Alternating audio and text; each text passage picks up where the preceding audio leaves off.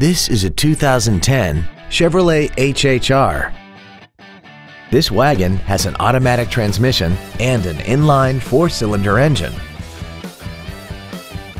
Its top features include air conditioning, cruise control, an auto-dimming rear-view mirror, a CD player, running boards, tinted glass, a driver's side impact airbag, a rear window defroster, a rear window wiper, and this vehicle has less than 13,000 miles. With an EPA estimated rating of 30 miles per gallon on the highway, fuel efficiency does not take a back seat. This vehicle is sure to sell fast. Call and arrange your test drive today.